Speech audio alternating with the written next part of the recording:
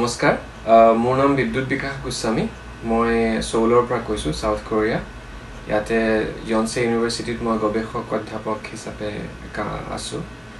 Climate change মোৰ গৱেষণাৰ বিষয়। আজি মই ছাউথ কোৰিয়াত এই কৰোণাৰ সময়ত ইয়াৰে চৰকাৰে বা ইয়াৰে মানুহে কৰোণা কণ্টেইন কৰিবৰ কাৰণে যিখিনি কৰিছে তাক লৈ মোৰ যিখিনি অভিজ্ঞতা সেইখিনি শ্বেয়াৰ কৰিবলৈ ওলাইছোঁ আপোনালোকৰ সৈতে। তিনিটা শব্দ দূৰদৰ্শিতা প্ৰস্তুতি আৰু তৎপৰতা। এই তিনিটা শব্দৰ দ্বাৰা একচুৱেলি খুব চমুকে ক'ব পাৰি ছাউথ কোৰিয়াই কেনেকৈ কৰোণা ভাইৰাছটো কণ্টেইন কৰিলে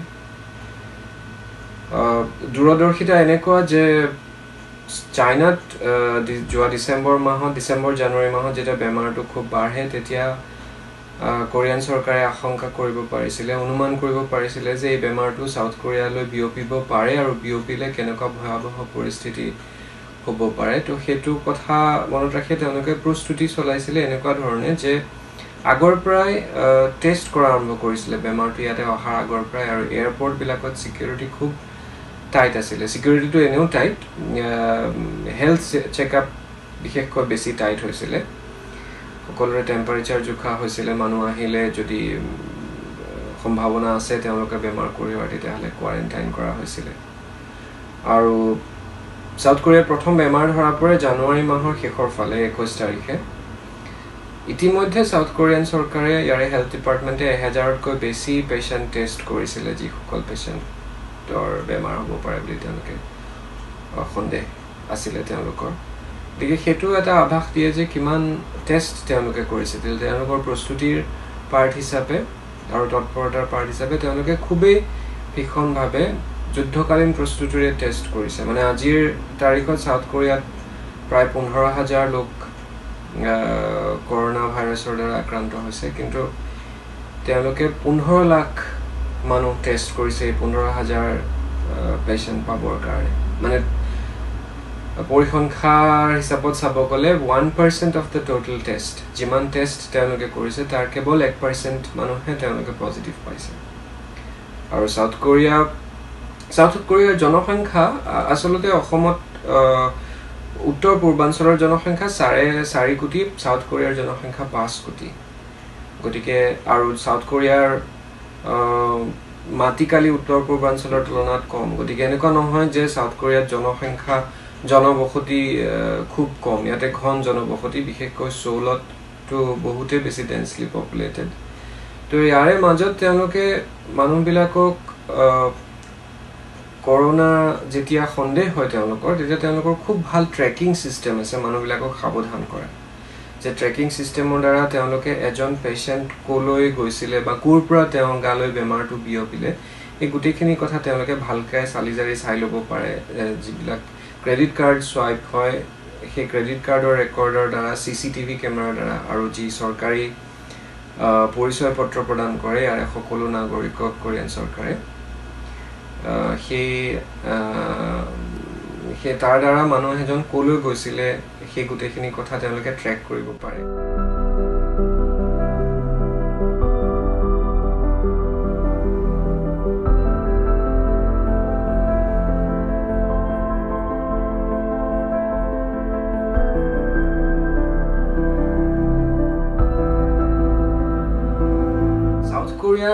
এই তৎপৰতা আৰু দূৰদৰ্শিতা আৰু প্ৰস্তুত ইয়াৰে যিটো কাৰণ হ'ল যে তেওঁলোকে তেওঁলোকৰ যি আগতে হৈ যোৱা যি অভিজ্ঞতা তেওঁৰ পৰা তাৰ পৰা লোৱা শিকনি যে তেওঁলোকে দুহেজাৰ বাৰ দুহেজাৰ পোন্ধৰত ইয়াতে চাৰ্চ আৰু মাৰ্চ হৈছিলে।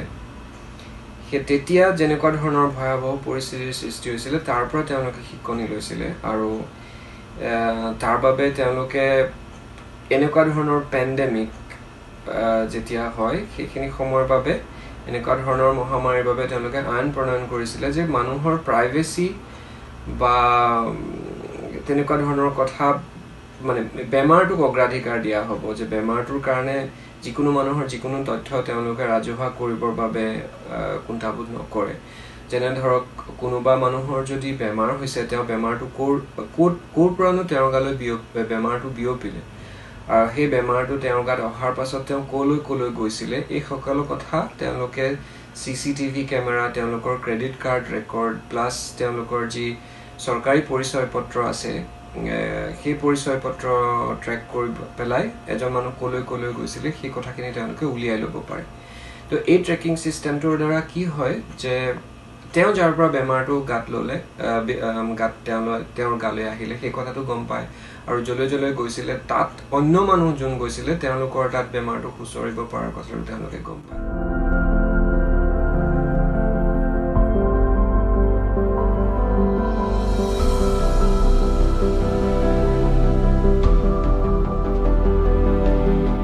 এনেকুৱা ট্ৰেকিং ব্যৱস্থাৰ জৰিয়তে তেওঁলোকে মানুহক সচেতন কৰিব পাৰে ধৰক মই এনেকুৱা কোনোবা এটা ঠাইলৈ গৈছিলোঁ য'ত নেকি তেওঁলোকে কোনোবা অন্য এজন পেচেণ্ট থকাৰ কথা গম পায়। তেতিয়াহ'লে লগে লগে তেওঁলোকে মোৰ মোবাইলত ইমাৰ্জেঞ্চি মেছেজ পঠিয়ায়। গতিকে চৰকাৰে গড় হিচাপত প্ৰায় দিনে চাৰি পাঁচটা কেতিয়াবা ইভেন বেছিও মোবাইলত তেনেকৈ ইমাৰ্জেঞ্চি এলাৰ্ট আহিয়ে থাকে যে এইটো এৰিয়াত যদি আপুনি গৈছিলে এনেকুৱা এৰিয়াত পেচেণ্ট এজন পোৱা হৈছে আপুনি যদি গৈছিলে অতি সোনকালে আপুনি টেষ্ট চেণ্টাৰলৈকে যাওক আৰু টেষ্ট কৰাওক। আৰম্ভণিতে যেতিয়া কোৰিয়াত পেচেণ্টৰ সংখ্যা বেছি আছিলে হস্পিটেলত যেতিয়া ডিমাণ্ড বেছি আছিলে তেতিয়া আপোনাৰ লক্ষণ যদি আছে তেতিয়াহে আপোনাক টেষ্ট কৰাব কৈছিলে। আৰু যদি লক্ষণ নাই তেতিয়াহ'লে ঘৰতে কোৱাৰেণ্টাইন কৰিব কৈছিলে আইচলেটেড হৈ থাকিব কৈছিলে। কিন্তু এতিয়া যিহেতু বেমাৰটো কমি আহিছে হস্পিটেলত ভিৰ কমি আহিছে। গতিকে কোৰিয়ান চৰকাৰে কোনো চান্স ল'ব খোজা নাই আৰু বেমাৰৰ লক্ষণ থাকক বা নাথাকক এনেকুৱা সন্দেহ যদি তেওঁলোকৰ হয় তেতিয়াহ'লে আপোনাক লগে লগে টেষ্ট কৰাবলৈ কয়। আৰু টেষ্ট কৰোৱাটো ইয়াতে ফ্ৰী কোৰিয়ান চৰকাৰে মই যিটো ক'লোঁ যে দুহেজাৰ পোন্ধৰ বাৰ এইটো সময়ত তেওঁলোকৰ চাৰ্চ আৰু মাৰ্চ হৈছিলে তেতিয়াই তেওঁলোকে এপিডেমিক ল এটা পাছ কৰিছিলে য'ত এই প্ৰাইভেচিৰ কথাটোৰ লগতে এইটো কথা তেওঁলোকে কৈছিলে যে এই সময়ত সকলো টেষ্ট বা ট্ৰিটমেণ্ট সকলোৰে ফ্ৰী হ'ব। গতিকে ফ্ৰী হোৱা কথাটো তেনেকুৱা হয় যে মানুহক যদি কাৰোবাক টেষ্ট কৰাব ক'ব লাগে কয় তেতিয়া মানুহে চিন্তা কৰিবলগীয়া নহয় যে তেওঁলোক পইচা যাব বা কিবা কিমান পইচা যাব পাৰে আৰু টেষ্ট কৰাব পাৰে। আৰু তাৰোপৰি টেষ্ট চেণ্টাৰ খুবেই সুলভ। ইমানেই সুলভ যে ড্ৰাইভ থ্ৰু টেষ্ট চেণ্টাৰ কিছুমান ইয়াতে থাকে। যেনে এনেকুৱা আমেৰিকা বা এনেকুৱা উন্নত দেশবিলাকত বা ইভেন ভাৰততো ড্ৰাইভ থ্ৰু আমি দেখোঁ পিজ্জা চেণ্টাৰ থাকে কফি চেণ্টাৰ থাকে য'ত গাড়ী লৈ গৈ পেলাই কফি লৈ গাড়ীতে কফিটো লৈ ওলাই আহিব পাৰি। ঠিক তেনেকৈ ড্ৰাইভ থ্ৰু টেষ্ট চেণ্টাৰবিলাকত আপুনি গাড়ীত যাব পাৰে। গাড়ীত গ'লে আপোনাৰ প্ৰথমতে টেম্পাৰেচাৰ জোখা হ'ব। টেম্পাৰেচাৰ আপোনাৰ জুখি উঠি নেক্সট ষ্টপেজটোত আপোনাৰ চুৱেব লোৱা হ'ব টেষ্ট কৰা হ'ব। যদি আপোনাৰ টেম্পাৰেচাৰ থাকে আপোনাক হস্পিটেলত গৈ কোৱাৰেণ্টাইন কৰিব দিয়া হয় যেতিয়ালৈকে আপোনাৰ ৰিজাল্ট নাহে। আৰু ৰিজাল্ট অহাৰ পাছত ৰিজাল্ট যি আহে পজিটিভ বা নিগেটিভ সেই অনুসৰি আপোনাৰ ট্ৰিটমেণ্ট কৰা হয় বা আপোনাক ঘৰলৈ যাবলৈ দিয়া হয়। আৰু তেওঁলোক কোৰিয়ান চৰকাৰৰ ইমান তৎপৰভাৱে টেষ্ট কৰা আৰু তেওঁলোকৰ মানে টেষ্ট কৰাৰ সংখ্যাটো আমি যদি সাধাৰণভাৱে চাবলৈ যাওঁ তেতিয়াহ'লে এনেকুৱা হ'ব যে বেমাৰটো একচুৱেলি খুব ফাষ্ট স্প্ৰেড হয় যিটো কৰোণা ভাইৰাছ হেৰি। গতিকে এই কৰোণা ভাইৰাছটো কণ্টেইন কৰাৰ যিটো একমাত্ৰ উপায় সেইটো হ'ল যে স্প্ৰেড যিটো স্পীডত হয় তাতকৈ বেছি স্পীডত বা বেছি ৰেটত টেষ্ট কৰিব লাগিব আৰু কোৰিয়ান চৰকাৰে একজেক্টলি সেইটোকে কৰিছে যে তেওঁলোকে খুবেই বেছি টেষ্ট কৰিছে আৰু তেওঁলোকৰ ৰাইজেও এইখিনিত সঁহাৰি জনাইছে।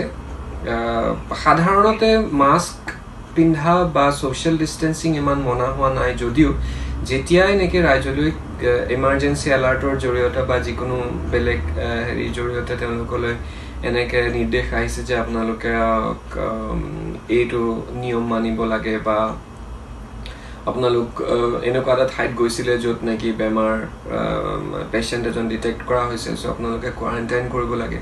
এই কথাখিনি মানুহে খুব চিনচিয়াৰলি পালন কৰে।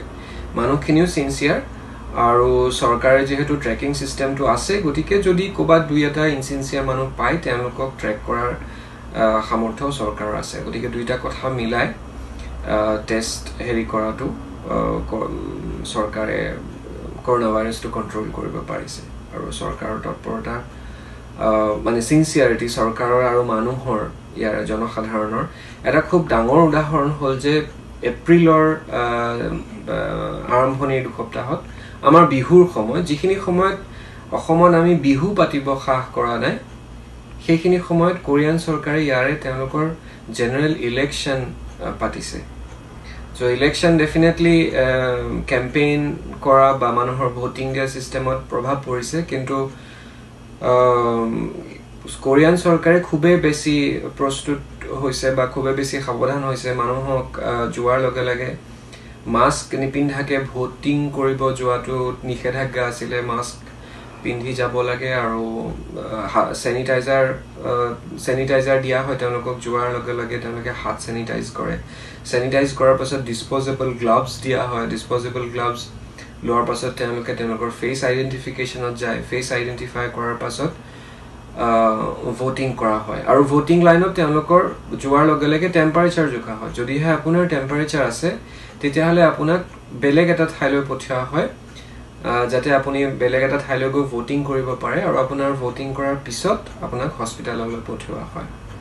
গতিকে সেইটো এটা খুবেই হেৰি আৰু ইমান ইমান হেৰিৰ মাজতো চৰকাৰৰ ওপৰতো মানুহৰ আস্থা আছে যে ঊনৈছশ একানব্বৈ চনৰ পাছত এই দুহেজাৰ বিছ চনত ভোটাৰ টাৰ্ণ আউট আটাইতকৈ বেছি ছিক্সটি ছিক্স পাৰ্চেণ্ট ভোটাৰে তেওঁলোকৰ জেনেৰেল ইলেকশ্যনত নিজৰ ভোট দিছে। আৰু এতিয়া কৰোণা মে' মাহমানত কোৰিয়াত আচলতে কৰোণা ভাইৰাছ পেচেণ্ট নতুন পেচেণ্ট একেবাৰে জিৰ'লৈ আহিছিলে। কিন্তু তাৰ পাছত এটা সৰু ছেকেণ্ড ৱেভ অহাৰ নিচিনা হৈছিলে যিটো তেওঁলোকে দমন কৰিবলৈ সক্ষম হৈছে।